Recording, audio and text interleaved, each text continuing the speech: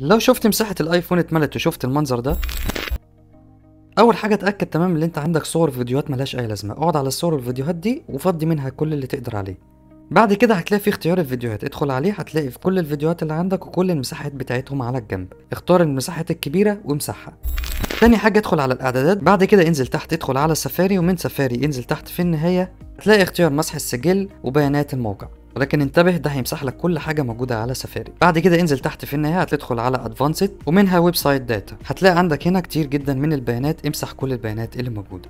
الخطوة اللي بعد كده في الاعدادات؟ انزل تحت على App Store بعد كده انزل تحت هتلاقي في اختيار اسمه Offload Unused Apps وهنا مكتوب لك ان هو بيمسح التطبيقات اللي انت ما دخلتش عليها بقالك فترة ولكن بيحتفظ بكل البيانات وال data بتاعتك. وبمجرد انك تضغط على التطبيق هتلاقي كل بيانات التطبيق نزلت مرة تانية. وعلامة التطبيق اللي انت ما استخدمتهوش بتكون بالشكل ده. بعد كده عايزك تدخل على كل التطبيقات اللي عندك وتدخل في ال setting أو الإعدادات بتاعتها. وده مثال تويتر هتدخل على الإعدادات. بعد كده تسهيلات الاستخدام هتلاقي اختيار اسمه البيانات المستخدمة. هتنزل تحت هتلاقي في كلمة اسمها storage أو التخزين. تحتها عندك ممكن تلاقيها بالميجا ممكن تلاقيها بالجيجا هتضغط عليها وهتمسح كل البيانات الموجودة وتخليها زيرو بالشكل ده. وده مثال التيك توك هننزل تحت في النهاية. هتلاقي مكتوب free up space نضغط عليها وهنعمل clear لكل ال data الموجودة وهتكون بالزيرو ميجا بايت زي ما انت شايف.